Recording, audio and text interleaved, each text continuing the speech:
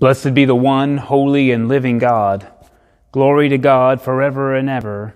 Amen. Let us pray. O God of peace, you've taught us that in repentance and rest we shall be saved. In quietness and confidence shall be our strength. By the might of your Spirit, lift us, we pray, to your presence, where we may be still and know that you are God, through Jesus Christ our Lord, who with you and the Holy Spirit lives and reigns, one God, forever and ever. Amen. The Lord be with you and also with you. Let us pray. O God, by your providence, the lives of the martyrs is the seed of the church.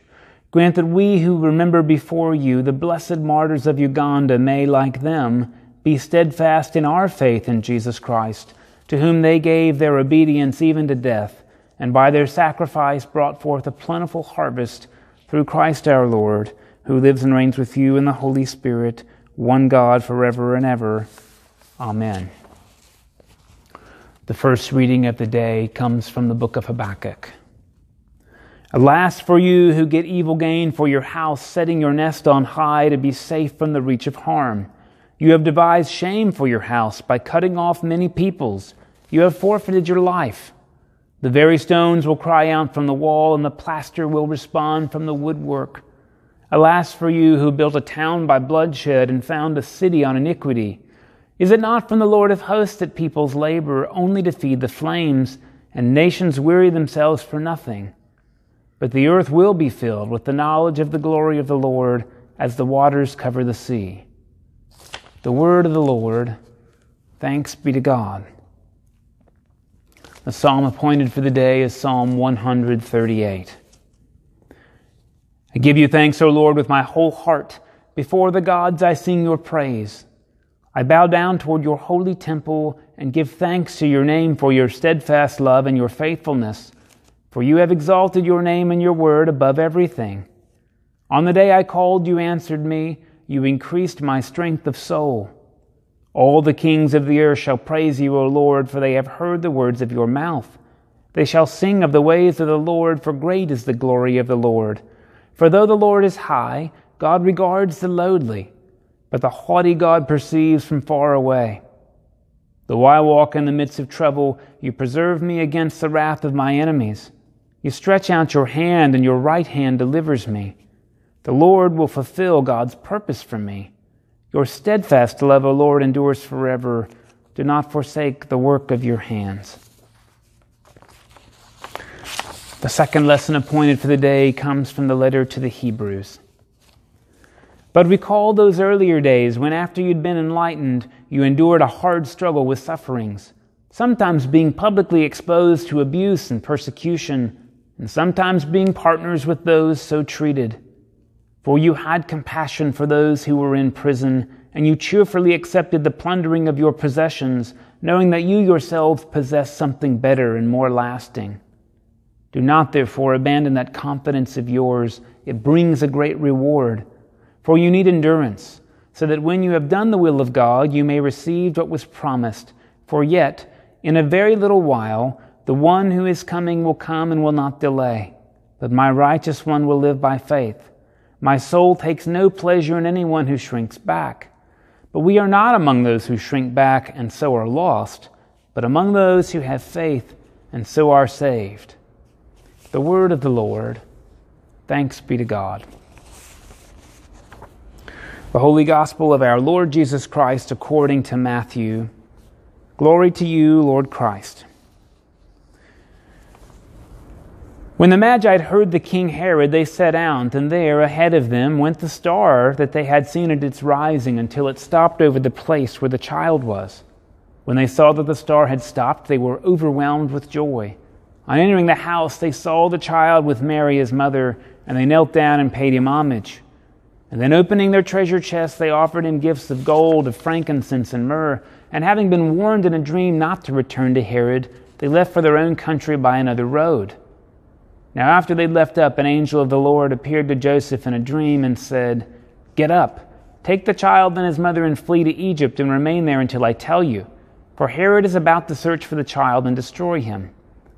And then Joseph got up, took the child and his mother by night, and went to Egypt. the gospel of the Lord. Praise to you, Lord Christ. So today we celebrate that um, on June 3rd, 1886, 32 young men, pages in the court of King Mwanga of Buganda, were burned to death at Namugongo for their refusal to renounce their Christianity. In the following months, many other Christians throughout the country died by fear, fire, or spear for their faith. And these martyrdoms totally changed the dynamic of Christian growth in the country of Uganda. Introduced by a handful of Anglican and Roman Catholic uh, missionaries after 1877, the Christian faith had been preached only to the immediate members of the court by order of King Mutesa. His successor, Mwanga, began, became increasingly angry as he realized that the first converts put loyalty to Christ above the traditional loyalty to the king. Martyrdoms began in 1885, including Bishop Hannington and his companions. Uh, we celebrate their ministry on October the 29th. Mwanga first forbade, every, forbade anyone to go near a Christian mission on pain of death, but finding himself unable to cool the ardor of the converts, he resolved to wipe out Christianity completely. The Namugongo martyrdoms produced a result entirely opposite to Mwanga's intentions. The example of these martyrs who walked to their deaths singing hymns and praying for their enemies so inspired many of the bystanders that they began to seek instruction from the remaining Christians. Within a few years, the original handful of converts had multiplied many times and spread far beyond the court. The martyrs had left the indelible impression that Christianity was truly African, not simply a white man's religion. Most of the missionary work was carried out by Africans rather than by white missionaries, and Christianity spread steadily. Uganda remains the most Christian nation in Africa, and um, renewed by persecution of Christians by a military dictatorship in the 1970s, proved the vitality of the example of the Namugongo martyrs. Among the thousands of new martyrs, both Anglican and Roman Catholic, was Janani Luwum, Archbishop of the Anglican Church of Uganda, whose courageous ministry and death inspired not only his countrymen, but also Christians throughout the world. Uh, today we mourn their loss. Today we celebrate uh, their courage to embrace their faith, even at the point of personal loss. This, I think, is not something many of us are going to have to face in our lifetimes. Um, persecution because uh, of a particular creed, a doctrine of faith.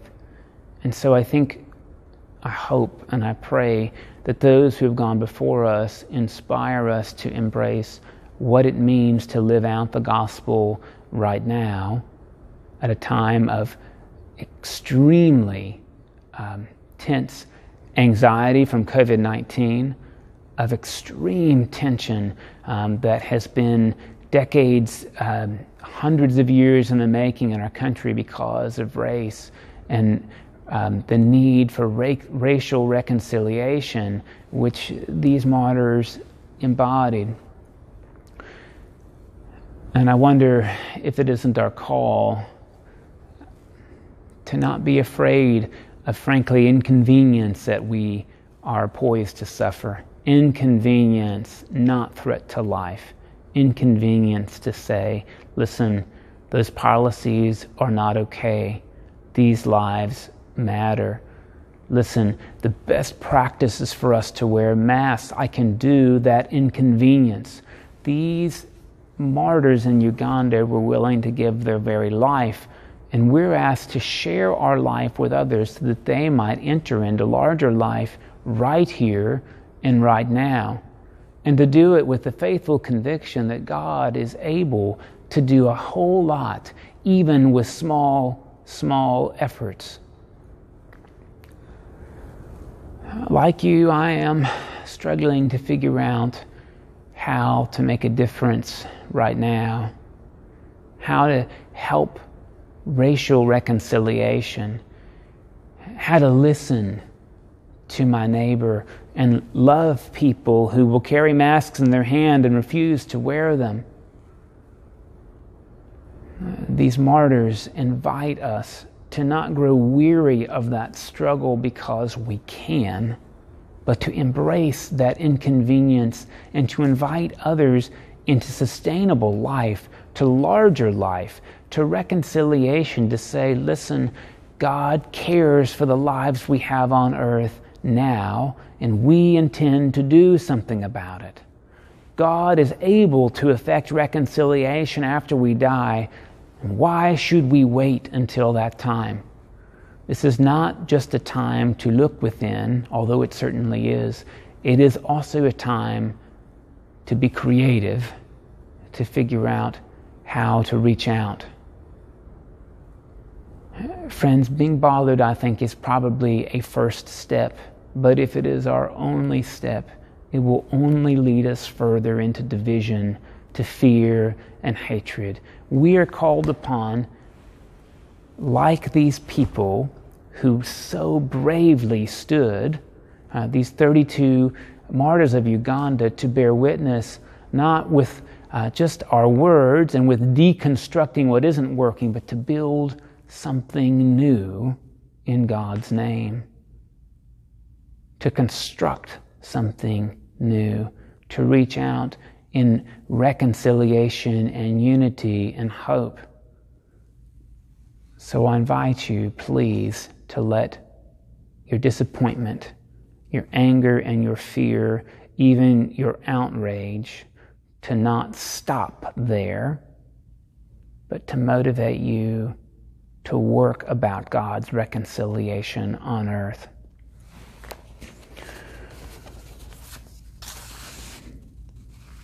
Please join me in the litany of healing. Let us name before God those for whom we offer our prayers or petitions, silently or aloud. Most notably today, um, we remember that more than 100,000 Americans have now died from COVID 19, and that this particular weekend was a special day as our Muslim brothers and sisters have just celebrated Eid al Fitr, and we have celebrated, of course, uh, Pentecost in the Christian church, and our Jewish brothers and sisters have celebrated Shavuot. This is a time for unity as we mourn those who we have lost from this crisis, and as we mourn um, the loss of lives of people like George Floyd. Loving God throughout creation, you show your will for all people as health and fullness of life. We praise you and we thank you, O Lord. Incarnate One who lives among us, in Jesus you came that all might have life and have it more abundantly. We praise you and we thank you, O Lord. Life giving Spirit, you make our bodies the temple of your presence. We praise you and we thank you, O Lord. Holy Trinity, in you we live and move and have our being. We praise you and we thank you, O Lord. Grant your healing grace to all who are sick, injured, or disabled in mind, body, or spirit. Hear us, O Lord of life. Grant to all who seek your guidance and to all who are lonely, anxious, or despondent a knowledge of your will and an awareness of your presence. Hear us, O Lord of life. Mend broken relationships and restore those in emotional distress to soundness of mind and serenity of spirit. Hear us, O Lord of life. Bless physicians, nurses, and all others who minister to the suffering, granting them compassion and wisdom, patience and skill. Hear us, O Lord of life. Grant to the dying peace and a holy death, and uphold by the grace and consolation of your spirit, more than a hundred thousand of those who are now bereaved. Hear us, O Lord of life.